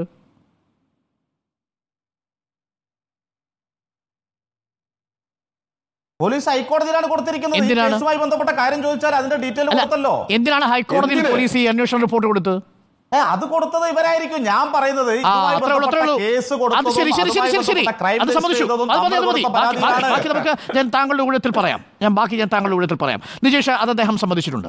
ജോർജ് പൊടിപ്പാല ഈ വർഗീയ പ്രചരണങ്ങളിലൂടെ വോട്ട് തട്ടാനുള്ള ശ്രമം എന്ന രീതിയിൽ വലിയ രീതിയിൽ നമ്മൾ ചർച്ച ചെയ്തതാണ്. ഇരുപത്താറാം തീയതിക്ക് ശേഷമുള്ള വടകരയിൽ നടന്ന സംഭവം. ഒരുപക്ഷെ വടകരയുടെ ചരിത്രത്തിൽ ഇതാദ്യമായ ഒരു സർവകക്ഷി യോഗം വളരെ പെട്ടെന്ന് നമ്മൾ വിളിച്ചുകൂട്ടുകയും സമാധാനം പുനഃസ്ഥാപിക്കുകയും ഒക്കെ ചെയ്തു. പക്ഷേ അതിന്റെ യഥാർത്ഥ ഉത്തരവാദികളെ ഇപ്പോൾ ഈ റിപ്പോർട്ട് പുറത്തു കൊണ്ടുവന്നിരിക്കുന്നു. ഇത് ഈ വേഗത്തിൽ മുന്നോട്ട് പോയാൽ മതിയോ? സർക്കാർ ഈ വിഷയത്തിൽ ഈ പ്രതികൾക്ക് കാവലാകുന്നു എന്ന പ്രതിപക്ഷ നേതാവിന്റെ വാക്കുകളിൽ ഒരു സത്യമില്ലേ ജോർജ് പുടിപ്പാറ ശ്രീ അരുൺകുമാർ വളരെ സത്യസന്ധമായിട്ട് ഈ ഇതിനെ വിലയിരുത്തിയാൽ രാഷ്ട്രീയത്തിന് അപ്പുറത്ത് നിന്ന് വിലയിരുത്തിയാൽ ഇത് കേരളത്തിന്റെ തെരഞ്ഞെടുപ്പ് ചരിത്രത്തിൽ തന്നെ ആദ്യമായിട്ടാണ് ഇത്രയും പച്ചയ്ക്ക് ഒരു വർഗീയത ആളിക്കത്തിക്കാനുള്ള ശ്രമം നടക്കുന്നത് അതും തെരഞ്ഞെടുപ്പിന്റെ പോളിംഗ് ദിനത്തിന്റെ തലേ ദിവസം. ഇത് പുറത്തു വരികയാണ്. ഇത് വടകരയിൽ ഉണ്ടാക്കാവുന്ന വടകരയിൽ മാത്രമല്ല കേരളത്തിൽ മുഴുവൻ സൃഷ്ടിക്കാവുന്ന ഒരു വർഗീയ ധ്രുവീകരണം അല്ലെങ്കിൽ വർഗീയ വിഭജനം. അത് കേരളത്തിന് താങ്ങാൻ കഴിയുന്നതായിരുന്നില്ല. എന്നിട്ടും അതിനകത്ത് നിരപരാധിയായ ഒരു മുസ്ലിം ലീഗ് പ്രവർത്തകനെ അല്ലെങ്കിൽ യൂത്ത് ലീഗ് നേതാവിന് മുഹമ്മദ് കാസിമിനെതിരെ അദ്ദേഹമാണ് ഇങ്ങനെ ഒരു ഒരു സ്ക്രീൻഷോട്ട് പുറത്തുവിട്ടതെന്ന് പറഞ്ഞ് പരാതി വരുന്നു. അത് പരാതി കൊടുക്കുന്നത് സി പി എമ്മിന്റെ ഒരു പ്രമുഖ നേതാവ് ഭാസ്കരൻ നായർ ഭാസ്കരനാണ്. ആ പരാതിയുടെ അടിസ്ഥാനത്തിൽ അതിവേഗത്തിൽ മുഹമ്മദ് കാസിമിനെ പോലീസ് പിടികൂടുന്നു ചോദ്യം ചെയ്യുന്നു. മുഹമ്മദ് കാസിം ആകട്ടെ വളരെ കൃത്യമായി തന്നെ വാദിക്കുന്നു ഞാൻ അത് ഷെയർ ചെയ്യുക മാത്രമാണ് ചെയ്തത് അതിന്റെ ഉറവിടം ഞാനല്ല. അതിന്റെ അടിസ്ഥാനത്തിൽ പോലീസിനോട് വ്യക്തമാക്കി ഉറവിടം മുഹമ്മദ് കാസിമാണെന്ന് തെളിയിക്കാൻ യാതൊരു വിധത്തിലും പോലീസിന് കഴിയാതെ വരുന്നു. പോലീസ് മുഹമ്മദ് കാസിമിനെ വളരെ നേരം ചോദ്യം ചെയ്തതിനു ശേഷം വെറുതെ വിടുന്നു. പിന്നീടാണ് ഈ കേസ് എഴഞ്ഞു നീങ്ങാൻ തുടങ്ങുന്നത്. അങ്ങനെ എഴഞ്ഞു നീങ്ങി എഴഞ്ഞു നീങ്ങി ഇപ്പൊ നൂറാം ദിവസമാണ് അതും മുഹമ്മദ് കാസിം എന്ന് പറയുന്ന യൂത്ത് ലീഗ് നേതാവ് പോലീസ് അന്വേഷണം ഇഴയുന്നു എന്ന് ചൂണ്ടിക്കാണിച്ചുകൊണ്ട് ഹൈക്കോടതിയെ സമീപിച്ചതിന് ശേഷം ഹൈക്കോടതി ഇടപെട്ട് പോലീസിനോട് റിപ്പോർട്ട് ആവശ്യപ്പെടുന്നു. ആ റിപ്പോർട്ടാണ് ഇന്നലെ നൂറ് ദിവസത്തിന് ശേഷം ഹൈക്കോടതിയിൽ എത്തുന്നത് അതാണ് ഇന്നത്തെ ചർച്ചയ്ക്ക് ആധാരം. മാത്രമല്ല അതിലൂടെ കൃത്യമായി വെളിപ്പെടുന്നത് സി പി എം ബന്ധമുണ്ടെന്ന് എത്രയോ കാലമായിട്ട് നമുക്കറിയാവുന്ന ആ എന്താ പറയാ ഈ പറഞ്ഞ ആ റെഡ് എൻകൗണ്ടർ എന്ന് പറയുന്ന ആ ഒരു ഒരു ഒരു ഒരു ഗ്രൂപ്പിൽ നിന്നാണ് ഈ പറഞ്ഞ രീതിയിൽ റബേഷ് രാമകൃഷ്ണൻ എന്ന ആളിൽ നിന്നാണ് ഈ ഇത് പുറത്തു വന്നത്. അല്ലെങ്കിൽ ഏറ്റവും ഒടുവിൽ ഇത് പുറത്തു വന്നത് അല്ലെങ്കിൽ ഏറ്റവും ആദ്യം ഇത് പുറത്തു വന്നത് ഷെയർ ചെയ്യപ്പെട്ടത് എന്ന വിവരം പുറത്തു വരുന്നു. അതിന് ശേഷം ഈ പറഞ്ഞ റെഡ് എൻകൗണ്ടറിന് മാത്രമല്ല അതിനിടയ്ക്ക് നമ്മൾ കാണുന്നു റെഡ് ബറ്റാലിയനെ കാണുന്നു അമ്പാടിമുക്ക് സഖാക്കളെ കാണുന്നു പോരാളി ഷാജി ഇങ്ങനെ നാല് ഈ പറഞ്ഞ എന്താ പറയാ ഈ പറഞ്ഞ ഫേസ്ബുക്ക് ഗ്രൂപ്പുകളെ അല്ലെങ്കിൽ ഈ വാട്സാപ്പ് ഗ്രൂപ്പുകളെ ഇതിൽ ഉൾപ്പെടുന്നു. എന്നിട്ട് ഇപ്പൊ ഇരുന്ന് നമ്മുടെ നിജേഷ് പറയുന്നത് എന്താ? എന്തുകൊണ്ട് ഈ പറഞ്ഞ രമേശ് രാമകൃഷ്ണൻ എന്ന് പറയുന്ന ഏറ്റവും ഒടു ഏറ്റവും ആദ്യം ഇത് ഷെയർ ചെയ്തു എന്ന് പറയുന്ന രമേഷ് രാമകൃഷ്ണൻ എന്ന് പറയുന്ന ഉത്തരവാദപ്പെട്ട ഡിവൈഎഫ്ഐ നേതാവിന് എനിക്ക് ഇത് കിട്ടിയത് എവിടെ നിന്നാണ് എന്ന് ക്ലാരിറ്റിയോടെ പറയാൻ കഴിയുന്നില്ല. ഇതാണല്ലോ ശ്രീ അരുൺകുമാർ പേർത്തും പേർത്തും പേർത്തും ലജേഷിനോട് ചോദിച്ചത്. ഏറ്റവും പ്രസക്തമായ മില്യൺ ഡോളർ ക്വസ്റ്റ്യൻ എന്ന് വേണമെങ്കിൽ പറയാവുന്ന ചോദ്യം അതാണല്ലോ. ബാക്കിയുള്ള മൂന്ന് ഗ്രൂപ്പും പറഞ്ഞു. അമ്പാടിമുക്ക് സഖാക്കളും പറഞ്ഞു. അതുപോലെ തന്നെ പോരാളി ഷാജിയും റെഡ് വളണ്ടിയേഴ്സും ഒക്കെ പറഞ്ഞു. ഞങ്ങൾക്ക് ഇന്ന ആളിൽ നിന്ന് രണ്ടേ രണ്ടേ പതിമൂന്നിന് റെഡ് റെഡ്- എൻകൗണ്ടേഴ്സ് രണ്ടേ മുപ്പത്തിനാലിന് റെഡ് ബറ്റാലിയൻ അതിനുശേഷം അമ്പാടിമുക്ക് സഖാക്കൾ. അങ്ങനെ ഏറ്റവും ആദ്യം ഇത് ഷെയർ ചെയ്ത ആളല്ലേ ഇതിന്റെ ഉറവിടം വ്യക്തമാക്കേണ്ടത്? വളരെ സിമ്പിൾ ആയിട്ടുള്ള കാര്യമല്ലേ ഇത്? എന്തുകൊണ്ട് രമേശ് രാമകൃഷ്ണൻ എന്ന് പറയുന്ന ഉത്തരവാദപ്പെട്ട ഡിവൈഎഫ്ഐ നേതാവ് ഒരു വിപ്ലവ പ്രസ്ഥാനത്തിന്റെ യുവജന വിഭാഗത്തിന്റെ ശക്തനായ പ്രവർത്തകനായിട്ട് തെരഞ്ഞെടുപ്പ് പ്രചരണ വേദികളിലൊക്കെ സജീവമായി പങ്കെടുത്ത നേരത്തെ എന്റെ സുഹൃത്ത് പറഞ്ഞതുപോലെ താങ്കൾ തന്നെ സംഘടിപ്പിച്ച തെരഞ്ഞെടുപ്പ് എൻകൗണ്ടർ പോലുള്ള പരിപാടികളിൽ വളരെ സജീവമായി പങ്കെടുത്ത ആ വ്യക്തി എന്തുകൊണ്ട് കേരളത്തെ പിടിച്ചു പിടിച്ചുകുലുക്കുന്ന വടകരയിലെ തെരഞ്ഞെടുപ്പ് രംഗത്തെ കലുഷിതമാക്കിയ ഇത്തരം ഒരു വിഷയത്തിൽ ആ ഉത്തരവാദിത്വം ഏറ്റെടുത്ത് സമൂഹത്തിൽ സ്പർദ്ധ വളർത്താൻ തന്റെ പോസ്റ്റ് ഇടയാക്കിയിട്ടുണ്ടെങ്കിൽ ഇതിന് മാപ്പപേക്ഷിക്കാൻ രമേശ് രാമകൃഷ്ണൻ വരണമായിരുന്നു. പക്ഷെ അത് ചെയ്തില്ല. എന്ന് മാത്രമല്ല പോലീസിന് ആ അന്വേഷണത്തിലേക്ക് നയിക്കാവുന്ന ഒരു തെളിവും രമേശ് രാമകൃഷ്ണൻ കൊടുത്തില്ല. ഒടുവിൽ പോലീസിന് നിർബന്ധപൂർവം ആ ഫോൺ പരിശോധിക്കാൻ വേണ്ടി ഫോറൻസിക് പരിശോധനയ്ക്ക് കൊടുക്കേണ്ടി വന്നു. ഇതാണ് ലിജീഷെ നമ്മുടെ ചോദ്യം. വളരെ കൃത്യമായി ശ്രീ ജോർജ് പൊടിപ്പാറ സൂചിപ്പിച്ചതുപോലെ. ഞാൻ ഒരിക്കൽ കൂടി മുഹമ്മദ് ഖാസിമിലേക്ക് വരുന്നു. മുഹമ്മദ് ഖാസിം ഇതുവരെയും ഈ പ്രതികളെ കണ്ടെത്തിയിട്ടില്ല. പ്രതികളെക്കുറിച്ചുള്ള പരാമർശം മാത്രമാണ് അന്വേഷണ റിപ്പോർട്ടിലുള്ളത്. മെറ്റയെ വരെ പോലീസ് പ്രതി ചേർത്തിട്ടുണ്ട് വാട്സപ്പിലും ഫേസ്ബുക്കിലും സംബന്ധിച്ച കൂടുതൽ വിവരങ്ങൾ ലഭ്യമാക്കാൻ വേണ്ടി. പലരുടെയും ഫോണുകൾ പിടിച്ചെടുത്തു. നീതിപൂർവകമല്ല അന്വേഷണമെന്ന് കോടതിയിൽ നേരത്തെ താങ്കളെടുത്ത നിലപാടിൽ താങ്കൾ ഉറച്ചു നിൽക്കുന്നുണ്ടോ മുഹമ്മദ് ഖാസിം? തീർച്ചയായിട്ടും. കോടതിയിൽ സമീപിക്കേണ്ട സാഹചര്യം നിങ്ങൾക്ക് മീഡിയാസിനൊക്കെ അറിയാം. നിലവിൽ അഞ്ച് പ്രാവശ്യമാണ് ഞാൻ പോലീസിൽ പരാതി നൽകിയിട്ടുള്ളത്. ഡി വൈ എസ് പിക്ക് പരാതി കൊടുത്തു ഡി ജി പിക്ക് പരാതി കൊടുത്തു എസ് പിക്ക് സി ഐക്കും ഒക്കെ പരാതി നൽകിയിട്ടും ഒരു നടക്കാത്ത സാഹചര്യം. ഒരു മാസത്തോളം ഈ കേസിനെ നീട്ടിവലിച്ചു കൊണ്ടുപോകാനാണ് പോലീസ് ആഗ്രഹിച്ചിട്ടുള്ളത്. ഞാൻ നേരത്തെ സൂചിപ്പിച്ചതുപോലെ തന്നെ പോലീസ് ഈ കേസിൽ കാണിക്കുന്ന നിഷ്ക്രിയത്വം കൃത്യമായി നമുക്ക് മനസ്സിലാവുന്നുണ്ട്. ഈ കേസ് അന്വേഷിക്കാനോ അല്ലെങ്കിൽ ഈ കേസുമായിട്ട് മുന്നോട്ട് പോകാനോ പോലീസ് ഇതുവരെ തയ്യാറായിട്ടില്ല. കഴിഞ്ഞ ദിവസം പോലും കേസ് ഡയറി ഹാജരാക്കാൻ വേണ്ടി പോലീസിനോട് ആവശ്യപ്പെട്ടിട്ട് സമയം നീട്ടി നൽകാൻ വേണ്ടിയിട്ടാണ് കോടതിയിൽ സമീപിച്ചിട്ടുള്ളത്. ഈ സാഹചര്യത്തിലാണ് പോലീസിൽ ഒരു വിശ്വാസവും ഞങ്ങൾക്കില്ല എന്ന് ഞങ്ങൾ കൃത്യമായിട്ട് പറയുന്നത്. കാരണം ഈ കേസ് കൃത്യമായി പോലീസ് പോലീസിനെ കൊണ്ട് ഹൈക്കോടതിയുടെ മേൽനോട്ടത്തിൽ തന്നെ കൊണ്ടുപോകണമെന്നാണ് ഞങ്ങൾ ആഗ്രഹിക്കുന്നത്. ഈ സാഹചര്യം എന്ന് പറയുന്നത് നിലവിലെ റിബേഷ് അടക്കമുള്ള ആളുകളുടെ അഡ്രസ്സോ കാര്യങ്ങളോ പോലീസ് എന്താക്കിയിട്ടില്ല ഈ പരാതിയിൽ എവിടെയെങ്കിലും എഫ് ഐ ആറിലോ അല്ല ഈ അഫിഡവിറ്റിൽ എവിടെയെങ്കിലും കൊടുത്തിട്ടില്ല. അതുകൊണ്ട് തന്നെ റിബേഷ് അടക്കമുള്ള ആളുകളെ നിയമത്തിന് മുന്നിൽ കൊണ്ടുവരാൻ വേണ്ടിയിട്ടുള്ള ഏതറ്റം വരെയുള്ള ഇതാണ് അതിനകത്ത് ഏറ്റവും പ്രസക്തമായ കാര്യം. പോലീസ് ഒരു അന്വേഷണ റിപ്പോർട്ട് ഹൈക്കോടതിയിൽ കൊടുക്കുന്നു. അതിൽ പ്രതിസ്ഥാനത്തുനിന്ന് സംശയിക്കുന്നയാൾ അയാളെക്കുറിച്ചുള്ള ബാക്കി വിവരങ്ങൾ പോലും അന്വേഷണ റിപ്പോർട്ടിലില്ല. റിവേഷ് രാമകൃഷ്ണൻ ഇത് ഇദ്ദേഹം തന്നെയാണോ എന്ന് നമുക്ക് തന്നെ സംശയമുണ്ടാവുന്ന രീതിയിൽ ഒരു അന്വേഷണ റിപ്പോർട്ട് പോലീസ് കൊടുക്കുന്നു. ഇതൊക്കെ രാഷ്ട്രീയ ബന്ധം കൊണ്ടാണെന്ന് പ്രതിപക്ഷം ആരോപിച്ചാൽ അതിന് പ്രതിരോധം തീർക്കുക അത്ര എളുപ്പമല്ല ലിജീഷ്. എൽ ജി ലിജീഷ് പ്രതിപക്ഷ നേതാവ് പറഞ്ഞത് ഭീകരപ്രവർത്തനത്തിന് സമാനമായിരിക്കുന്ന ഒരു വിദ്വേഷ പ്രവർത്തനമാണ് നടത്തിയിരിക്കുന്നത് എന്നാണ്. ഇപ്പോൾ മുഹമ്മദ് ഖാസിം പറഞ്ഞത് പോലീസിന്റെ നിഷ്ക്രിയത്വം ഇതിൽ പ്രതിഫലിക്കുന്നുവെന്നാണ് നൂറ് ദിവസം കഴിഞ്ഞിട്ടും പ്രതിസ്ഥാനത്ത് ആര് നിൽക്കുന്നു മേൽവിലാസം മൂലം പറയാൻ പോലും കഴിയാതെ ഈ കേസ് പോലീസ് വളരെ സാവധാനമാക്കി കേസിന്റെ ഊർജം നഷ്ടപ്പെടുത്തുകയാണോ.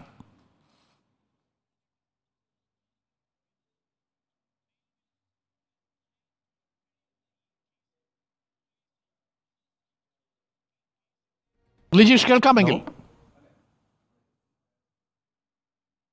ആ എന്താ മനസ്സിലായില്ല. അതായത് ഭീകരപ്രവർത്തനത്തിന് സമാനമായ വിദ്വേഷ പ്രവർത്തനമാണ് സി പി എം നടത്തിയത് എന്നാണ് പ്രതിപക്ഷ നേതാവിന്റെ വിമർശനം. എന്തുകൊണ്ടാണ് പ്രതിസ്ഥാനത്ത് നിൽക്കുന്നയാളെ അറസ്റ്റ് ചെയ്യാത്തത് എന്നാണ് ഷാഫി പറമ്പിന്റെ പറമ്പിലിന്റെ ചോദ്യം. പോലീസ് നിഷ്ക്രിയത്വം കാണിക്കുന്നു കാണിക്കുന്നുവെന്നാണ് മുഹമ്മദ് ഖാസിമിന്റെ ആരോപണം. മറുപടി. അല്ല വടകര ലോക്സഭാ തെരഞ്ഞെടുപ്പിനകത്ത് ഭീകരമായ നിലയിൽ ഇതുപോലെ പ്രവർത്തനം സംഘടിപ്പിച്ചത് വിദ്വേഷ പ്രചരണങ്ങളും വർഗീയ പ്രചരണങ്ങളും സംഘടിപ്പിച്ച യു ഡി എഫ് ആണ്. അവരെ വെള്ളപൂശി ആ രൂപത്തിൽ കാര്യങ്ങൾ പറഞ്ഞ് ഇതിൽ നിന്നെല്ലാം മാറിപ്പോകാമെന്ന് അവർ വിചാരിക്കരുത്. ഇതിന്റെ ഇര കൂടിയാണ് ഡോക്ടർ അരുൺകുമാർ. നിങ്ങൾ നടത്തിയ കാര്യങ്ങൾ പോലും വക്രീകരിച്ചുകൊണ്ടാണ് ഇവർ തെരഞ്ഞെടുപ്പിനകത്ത് പ്രവർത്തനം നടത്തിയിട്ടുള്ളത്. നിരവധിയായ ഉദാഹരണങ്ങൾ നമുക്ക് നമ്മൾ മുമ്പേ ചൂണ്ടിക്കാണിച്ചതാണ്. മുസ്ലിങ്ങൾ എല്ലാവരും വർഗീയവാദികളാണെന്ന് ശൈല ടീച്ചർ പറഞ്ഞു എന്ന് പറഞ്ഞു. ലവ് ജിഹാദിന് അനുകൂലമാണ് ശൈല ടീച്ചർ പറഞ്ഞു എന്ന് പറഞ്ഞു. ബഹുമാനായ എ പി അബൂക്കർ മുസ്ലിയാറുടെ സ്ക്രീൻഷോട്ട് തെറ്റായ രീതിയിൽ പ്രചരിപ്പിക്കുന്ന നില വന്നു. ഇതെല്ലാം വടകര ലോക്സഭാ തെരഞ്ഞെടുപ്പിനകത്ത് ഇവർ പയറ്റിയതാണ്. ശരി. ഇത് മാത്രമല്ല എല്ലാ വീടുകളും കയറി ഇതുപോലെ മുസ്ലിം വീടുകളെല്ലാം കയറി സംഘടിപ്പിച്ചു. ഇതിൽ യു ഡി എഫിന്റെ ഇവരാണ് യഥാർത്ഥത്തിൽ ചോദിച്ചത്. ഇവരാണ് യഥാർത്ഥത്തിൽ ഭീകര. താങ്കൾ നേരത്തെ പറഞ്ഞ ഇത്തരത്തിലുള്ള വ്യാജ പ്രചരണം നടത്തിയവർക്കെതിരെ പോലീസ് എന്ത് നടപടിയാണ് എടുത്തത്?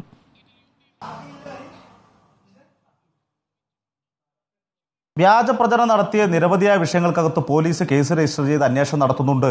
അതുമായി ബന്ധപ്പെട്ട്? പോലീസ്? കേസുകൾ രജിസ്റ്റർ ചെയ്തിട്ടുണ്ട് ഡോക്ടർ അരുൺകുമാർ. ഞാൻ പറയട്ടെ. ഈ കേസിൽ എന്താണ് അവസ്ഥ? യു ഡി എഫിലെ നേതാക്കൾ വ്യാജ പ്രചരണം നടത്തിയതുമായി ബന്ധപ്പെട്ട കേസ് വന്നാൽ എഫ്ഐആർ ഉണ്ടാവും പ്രതിക്ക് മേൽവിലാസം ഉണ്ടാവും കേസ് രജിസ്റ്റർ ചെയ്യും അന്വേഷണം നടക്കും. ഇവിടെ വലിയ രീതിയിൽ വർഗീയ പ്രചരണം നടത്തിയ ഒരു വിഷയത്തിൽ? അന്വേഷണം ഡിവൈഎഫ്ഐയുടെ ബ്ലോക്ക് സെക്രട്ടറിയിലേക്ക് എത്തി നിൽക്കുമ്പോൾ അന്വേഷണത്തിന് വേഗം കുറയും പ്രതിസ്ഥാനത്ത് നിൽക്കുന്നയാൾക്ക് മേൽവിലാസം ഇല്ലാതെയാകും. ഈ കേസിൽ പിന്നെ ഫോറൻസിക് പരിശോധന നൂറ് ദിവസം നീണ്ടു നിൽക്കും. അല്ല നിങ്ങൾ അന്വേഷണത്തിന് പരിധി നിശ്ചയിക്കില്ല. അതാ പറഞ്ഞത്. ഇതിന്റെ കൃത്യമായ കുറ്റവാളികളെ പുറത്തു കൊണ്ടുവരണമെങ്കിൽ എല്ലാ തരത്തിലുള്ള അന്വേഷണം നടത്തണം. അവർ നടത്തട്ടെ. അതുമായി ബന്ധപ്പെട്ട റിപ്പോർട്ട് വരട്ടെ. നിജേഷ്, സമഗ്ര അന്വേഷണത്തിനാണ് ഈ സമയം. അസ്യൂം ചെയ്ത് പറയല്ലേ. നിജേഷ് പോലീസ് സമഗ്ര അന്വേഷണത്തിനാണ് ഈ അധിക സമയം എടുക്കുന്നത് നിജീഷിന്റെ പ്രസ്ഥാനത്തിന്റെ നേതാവ് സാക്ഷാൽ പിണറായി വിജയന് നട്ടലുണ്ട് എങ്കിൽ ഇത് അന്വേഷിച്ച് നേരത്തെ അദ്ദേഹം നിരത്തിയ ഏത് കേസാണോ അത് അന്വേഷിച്ചു. ഒരു യു ഡി എഫുകാരനെതിരെ കേസ്. പിണറായി.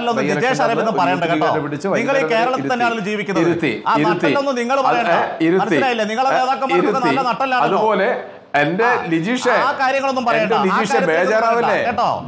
നട്ടലിലുള്ള ധൈര്യമുണ്ടെങ്കിൽ കേസെടുക്ക്. ധൈര്യമുണ്ടെങ്കിൽ. കേസെടുക്ക്. ധൈര്യമുണ്ടെങ്കിൽ. കേസെടുക്ക്. കേസെടുക്ക്. അതാ പറയുന്നത്. പ്രചരണമൊന്നും നിങ്ങൾ പറയണ്ട. ആ ധൈര്യത്തിനൊരു കുറവില്ല നിജേഷേ ധൈര്യത്തിനൊരു കുറവില്ല ധൈര്യമുണ്ടെങ്കിൽ? അതിന്റെ അന്വേഷണം നടക്കുന്നുണ്ട്. അല്ലാണ്ട് മുഖ്യമന്ത്രിക്ക്. നട്ടലുണ്ടോ അതിന്റെ കാര്യം പറയുന്നത് ഏത് അന്വേഷണം ഏത് അന്വേഷണം? ഏത് കാര്യങ്ങൾ? ഏത് കാര്യങ്ങൾ? നിങ്ങൾക്കൊരു ഒരു? ജനങ്ങൾ നിങ്ങളുടെ സംവിധാനത്തെ തള്ളിക്കളഞ്ഞു. നിങ്ങളുടെ സംവിധാനത്തെ തള്ളിക്കളഞ്ഞു. നിങ്ങൾ ചെയ്യുന്നതൊക്കെ തെറ്റാണ്. നിങ്ങൾ വർഗീയതയെ പടർത്താൻ ശ്രമിച്ചതാണ്. നാദാപുരം പോലെ തലശ്ശേരി പോലെ കൂത്തുറമ്പ് പോലെ കേരളത്തിൽ ഞാൻ പറഞ്ഞു തരണോ നിങ്ങൾക്ക്. അഴീക്കോട് മണ്ഡലത്തിനകത്ത് ഈ റിപ്പോർട്ടർ ചാനലിന്റെ പ്രധാനപ്പെട്ട കക്ഷിയായിരുന്ന നികേഷ് കുമാർ മത്സരിച്ച സമയത്ത് എന്തായിരുന്നു നിങ്ങളുടെ പ്രചരണം? നിങ്ങൾ പുണ്യാളക്കവിയല്ലേ സിറാത്ത് പാലം കടക്കാൻ വോട്ട് ചെയ്യണമെന്ന് പറഞ്ഞ് വോട്ട് പിടിച്ചവരാണ് നിങ്ങൾ ഈ പറയുന്ന രണ്ടായിരത്തി ഒന്നിലെ തെരഞ്ഞെടുപ്പിനകത്ത് നാദാപുരത്തെ നമുക്ക് മറ്റു വിഷയങ്ങളിലേക്ക് പോകേണ്ടതില്ല. ആരാണ് വർഗീയത പ്രചരിപ്പിക്കുന്നതിൽ മുൻപിൽ എന്നുള്ളൊരു മത്സരമല്ല നമ്മളിപ്പോൾ ഇവിടെ നടത്തുന്നത്. നമ്മുടെ മുന്നിൽ കാഫിൽ എന്ന ഒരു പ്രത്യേക കേസിൽ വ്യാജ സ്ക്രീൻഷോട്ട് വിവാദത്തിൽ ഹൈക്കോടതിയിൽ അസാധാരണമാം വിധം പോലീസ് സമയമെടുത്തു കൊടുത്തിരിക്കുന്ന അന്വേഷണ റിപ്പോർട്ടിൽ പരാമർശിച്ചിരിക്കുന്ന ഡിവൈഎഫ്ഐയുടെ ബ്ലോക്ക് സെക്രട്ടറി വരെ എത്തി നിൽക്കുന്ന പരമ്പരയിൽ ഒരാൾക്കെതിരെ പോലും കേസെടുക്കാത്തത് എന്തുകൊണ്ട് എന്നൊരൊറ്റ ചോദ്യമേ നമ്മൾ ചോദിക്കുന്നുള്ളൂ. ബാക്കി വർഗീയത പ്രചരിപ്പിക്കുന്നതിലെ മത്സരം പിന്നീട് നമുക്ക് നടത്താം. ആദ്യം ഇത് പറയൂ. ഞാൻ പറഞ്ഞത് പോലീസ് അതിന്റെ കാര്യങ്ങൾ അന്വേഷിക്കുന്നുണ്ട്. ആ റിപ്പോർട്ടാണല്ലോ ഇവിടെ കൊടുത്തിരിക്കുന്നത്. അവർ അന്വേഷിക്കുന്നോണ്ടാണല്ലോ നിങ്ങൾ ഈ പറയുന്ന കാര്യങ്ങൾ പുറത്തു പറഞ്ഞത്. അവർ അന്വേഷിക്കട്ടെ യഥാർത്ഥ പ്രതിയിലേക്ക് കാര്യം? എത്തട്ടെ അവരെല്ലാ തരത്തിലുള്ള സംവിധാനങ്ങൾ ഉപയോഗിച്ച് അന്വേഷിക്കട്ടെ. യഥാർത്ഥ പ്രതികളെ പുറത്തു കൊണ്ടുവരണം. ഏതെങ്കിലും പ്രതി എന്ന് പറഞ്ഞ ആളെ കൊണ്ടുവരില്ലല്ലോ ചെയ്യേണ്ടത്. ഈ. കേസിൽ ഈ റിബേഷിലേക്ക് എത്തി അന്വേഷണം നിൽക്കുമ്പോൾ ഫോറൻസിക് പരിശോധനയ്ക്ക് വേണ്ടി ഫോൺ പിടിച്ചെടുത്തിട്ട് കഴിഞ്ഞ അറുപത് ദിവസമായി ഒരു നീക്കവും അതിലുണ്ടാവുന്നില്ല. ഫോറൻസിക് പരിശോധനയാ. പരിശോധിക്കുന്നത് മൊബൈൽ ഫോണാണ് സാർ.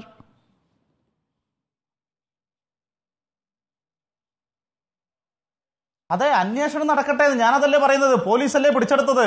ഫോറൻസിക് പരിശോധന നടക്കട്ടെ എന്റെ റിപ്പോർട്ട് വരട്ടെ. നിജേഷ് അതുമായി തയ്യാറാണോ. ഇത് ഈ പറയുന്ന സൈബർ ആക്രമണമാണ് നിങ്ങൾ ഉദ്ദേശിക്കുന്ന രൂപത്തിലല്ല. ഇത് തെറ്റായും ഞങ്ങൾ വക്രീകരിച്ചും ഫേക്കായും. നിരവധിയായ സംവിധാനം കൂടെ വരാം. ഞങ്ങൾ ഞങ്ങൾ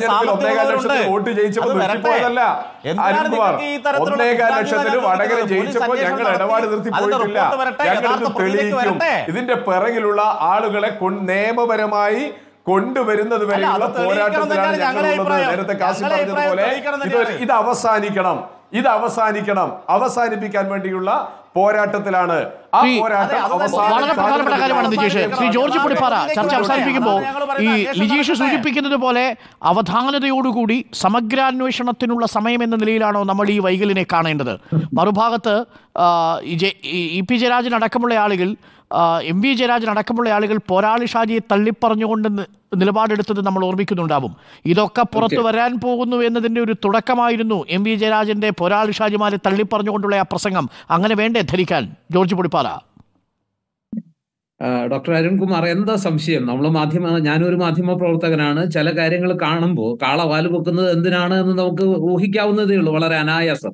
ഇവിടെ എം വി ജയരാജൻ എന്നയാൾ നമ്മളെപ്പോലും അമ്പരപ്പിച്ചുകൊണ്ട് പോരാളി ഷാജി അടക്കമുള്ള സൈബർ ഗ്രൂപ്പുകളെ സംബന്ധിച്ച് അവരെ തള്ളി പറഞ്ഞുകൊണ്ട് ഡിസോൺ ചെയ്തുകൊണ്ട് അങ്ങനെ ഒരു പ്രസ്താവന നടത്തിയപ്പോൾ കേരളത്തിൽ നമ്മളൊക്കെ ഞെട്ടിപ്പോയി. എങ്ങനെ ഇത് സാധിക്കുന്നു? ഇത്രയും കാലം അവർക്ക് വേണ്ടി നിലകൊണ്ട പാർട്ടിക്ക് വേണ്ടി നിലകൊണ്ട ആ ഗ്രൂപ്പുകൾ ഒരു സുപ്രഭാതത്തിൽ പാർട്ടിയുടെ ജില്ലാ സെക്രട്ടറി ഇങ്ങനെ തള്ളിക്കളയുമോ? നമ്മൾ അമ്പരന്ന് പോയ രാഷ്ട്രീയം അറിയാവുന്ന അല്ലെങ്കിൽ കണ്ണൂരിന്റെ രാഷ്ട്രീയം അറിയാവുന്ന നമ്മളെയൊക്കെ വല്ലാതെ അമ്പരപ്പിച്ചൊരു കാര്യമായിരുന്നു. പക്ഷെ ഇപ്പൊ ഇവിടെ എത്തി നിൽക്കുമ്പോൾ നമുക്ക് മനസ്സിലാകുന്നു അത് എന്തിന്റെ ഭാഗമായിരുന്നു അത് എന്തിനു വേണ്ടിയുള്ളതായിരുന്നു എന്ന് മനസ്സിലാക്കാൻ ഒരുപാട് ബുദ്ധിയൊന്നും വേണ്ട. എന്റെ സുഹൃത്ത് ലിജീഷ് വളരെ കഷ്ടപ്പെടുന്നത് ഞാൻ കാണുന്നുണ്ട്. അദ്ദേഹത്തിന് സ്വാഭാവികമായിട്ടും അദ്ദേഹത്തിന് അങ്ങനെ പറയാൻ കഴിയും. പക്ഷെ എങ്കിലും ഈ കാര്യത്തിലുള്ള ഒരു പ്രശ്നം എന്താണെന്ന് വെച്ചാൽ ഞങ്ങൾ കാണുന്നുണ്ട്. നിങ്ങളെ മാധ്യമ പ്രവർത്തകൻ എന്നുള്ള ബോർഡ് മാറ്റി അല്ല സാർ. അല്ല സാർ. വളരെ നിഷ്പക്ഷമായിട്ട് ഞാൻ പറയുന്നത്. ഇത് കോൺഗ്രസ് ആണ് ചെയ്തതെങ്കിൽ ചാനൽ ചർച്ചയിൽ മുഴുവൻ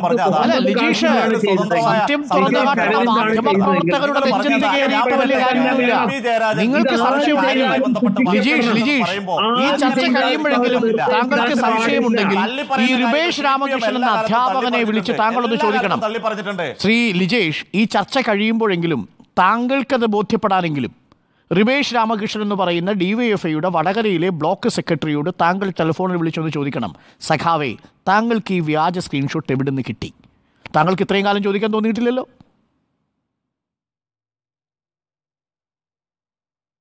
അല്ല അതാ ഞാൻ പറ അതൊക്കെ അന്വേഷണത്തിന്റെ ഭാഗമായി വരട്ടെ. എന്തിനാ പക്ഷെ ഞാൻ സംസാരിക്കുന്നത് ലിജീഷ് എന്ന് പറയുന്ന ഉത്തരവാദിത്തപ്പെട്ട ഒരു രാഷ്ട്രീയ പാർട്ടിയുടെ പ്രതിനിധിയോടാണ്.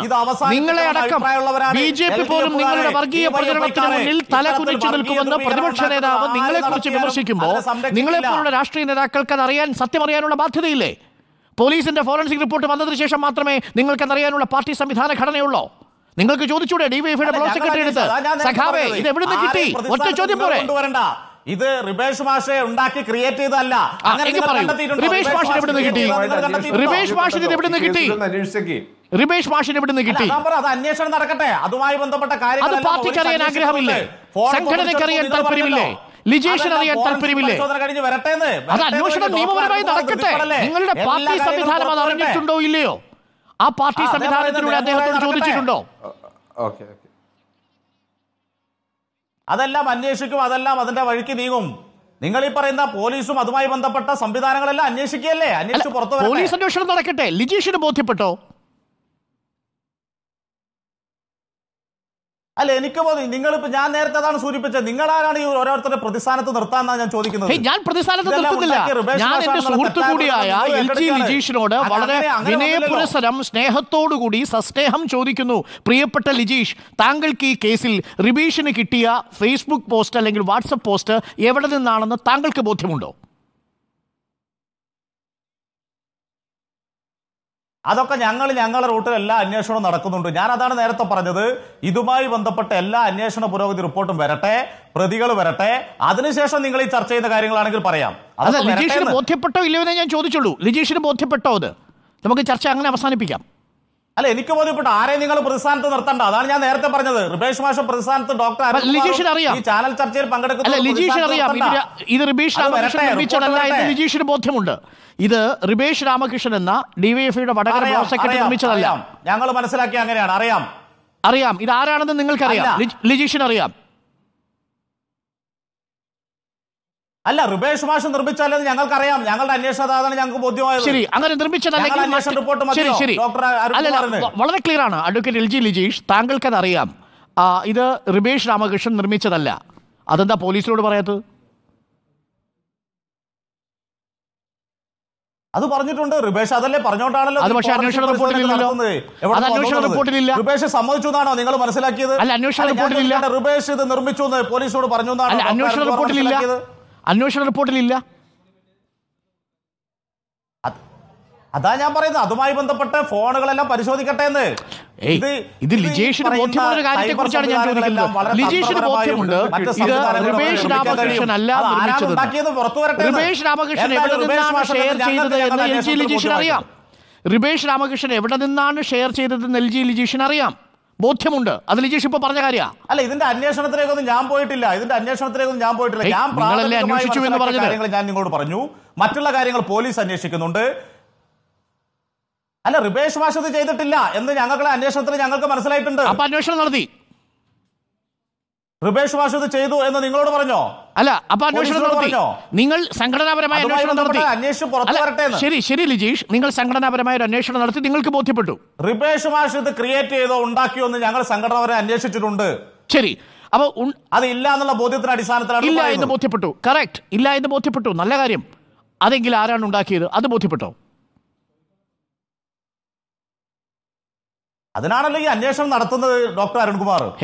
അന്വേഷണം. അതാ ഞാൻ പറഞ്ഞത്. കാര്യങ്ങളൊക്കെ ഇതിന് പിന്നിൽ. പ്രവർത്തിച്ച മനുഷ്യൻ ഈ എക്സ് ആണ് അല്ലെങ്കിൽ വൈ ആണ്. ലിജീഷ് പറയൂ ലിജീഷിന് ബോധ്യപ്പെട്ടത് ആരാണ്? അല്ലെങ്കിൽ താങ്കൾ ഇത് മാത്രം. രാമകൃഷ്ണൻ ആരുടെ ഗ്രൂപ്പിൽ നിന്നാണ് അത് ഷെയർ ചെയ്തിരിക്കുന്നത്. ഞാൻ തീരുമാനിക്കുന്നത് ഇത് അറിയാൻ വേണ്ടിയാണ്. ലിജീഷ് ലിജീഷിന് ബോധ്യപ്പെട്ട കാര്യം തുറന്നു നിജേഷ് പറയുന്നത് ഞാൻ എന്താ തടസ്സം? ഇതുമായി ബന്ധപ്പെട്ട അന്വേഷണം നടക്കുകയാണ്. അന്വേഷണം നടക്കട്ടെ. താങ്കൾ പോലീസിനോടെങ്കിലും തുറന്നു പറയൂ. അതല്ലെങ്കിൽ നമ്മളോട് പറയൂ. മാധ്യമങ്ങളിലൂടെ ജനങ്ങൾ കേൾക്കട്ടെ ഇടതുപക്ഷം കേൾക്കട്ടെ റിബേഷ് രാമകൃഷ്ണനെ കുടുക്കിയ റിമേഷ് രാമകൃഷ്ണൻ ഷെയർ ചെയ്തത് ആരുടെ വാളിൽ നിന്നാണ്? പറഞ്ഞതെന്നുള്ളത് വസ്തുത എന്റെ അടുത്തില്ല. ഇതൊക്കെ ഞാൻ നേരത്തെ സൂചിപ്പിച്ചു കഴിഞ്ഞാണ്. അന്വേഷണം നടന്നു എന്ന് പറയുന്നതും ലിജീഷ് അന്വേഷണത്തിന്റെ ഭാഗമായ വസ്തുത ബോധ്യപ്പെട്ടു എന്ന് പറയുന്നതും ലിജീഷ് വസ്തുത തന്റെ കയ്യിലില്ല എന്ന് പറയുന്നതും ലിജീഷ്. ഞാൻ എന്താ പറയേണ്ടത് ലിജീഷ്?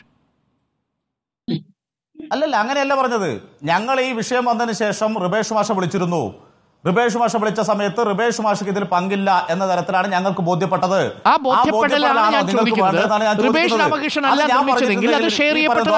എന്താ പറയാ? നിങ്ങളെ ബോധ്യപ്പെടലാണോ വേണ്ടത്? ചോദിച്ചിട്ടല്ലേ നിങ്ങൾ പറയാ.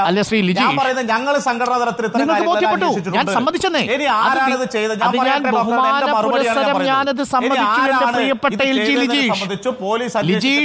സമ്മതിച്ചു ലിജീഷിന് ബോധ്യപ്പെട്ടു എന്ന് ഞാൻ അംഗീകരിച്ചു. പാർട്ടിക്ക് ബോധ്യപ്പെട്ടു എന്നുള്ളത് ഞാൻ അംഗീകരിച്ചു. അതൊക്കെ സമ്മതിച്ചു.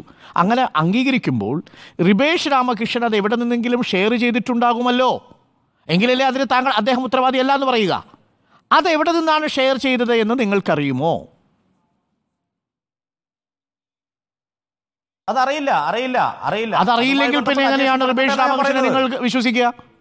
എനിക്കറിയില്ല എന്നാണ് ഞാൻ പറയുന്നത്. എനിക്കറിയില്ല പിന്നെ എങ്ങനെയാണ് താങ്കൾക്ക് ബോധ്യമാവുക? അല്ല റിബേഷ് അത് ചെയ്തിട്ടില്ല എന്ന് ഞങ്ങൾക്ക് ബോധ്യമായിട്ടുണ്ട്. ബാക്കിയുള്ള കാര്യങ്ങൾ പോലീസ് അന്വേഷിക്കട്ടെ. അതാണ് ഞാൻ പറഞ്ഞത്. ശരി.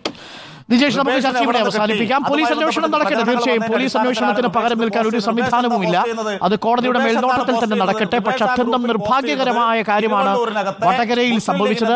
അത് ഈ വിഷയത്തിൽ സി പി എമ്മും ഇടതുപക്ഷത്തിന്റെ സൈബർ പോരാളികളും പ്രതിരോധത്തിലാകുന്നുണ്ട്. എന്നാൽ മറുഭാഗത്ത്. യു ഡി എഫിന്റെ ഭാഗത്തു നിന്നുണ്ടായ വിഷയങ്ങളും പ്രേക്ഷകർ ഇതിനകം ചർച്ച ചെയ്തതാണ്. അത് ഈ ഘട്ടത്തിൽ നമ്മൾ ചർച്ച ചെയ്യുന്നില്ല. കാരണം ഈ വിഷയം ഈ പ്രത്യേക വിഷയം മാത്രം കേന്ദ്രീകരിച്ചിട്ടുള്ളതായതുകൊണ്ട്. നന്ദി Shri P K Muhammad Khasim George Podippara advocate L G Lijeesh Nijesh Aravind ചർച്ചയിൽ ചേർന്നതിന്